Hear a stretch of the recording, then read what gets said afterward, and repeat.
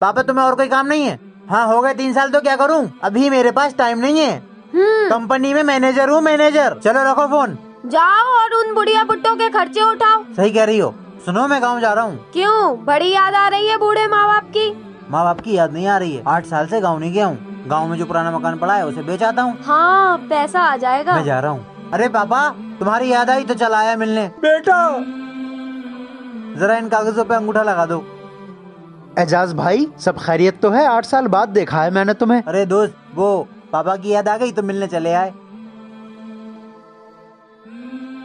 पापा की याद आई या मकान बेचने आए हो? लोग बड़े बड़े शहरों में जाकर रहने लगते हैं और जिन्होंने उन्हें पढ़ाया वही बूढ़े माँ बाप उनके लिए बिल्कुल बेकार हो जाते हैं। लेकिन एक बात याद रखना रुलाकर अपने बूढ़े माँ बाप को खुश तुम भी नहीं रह पाओगे।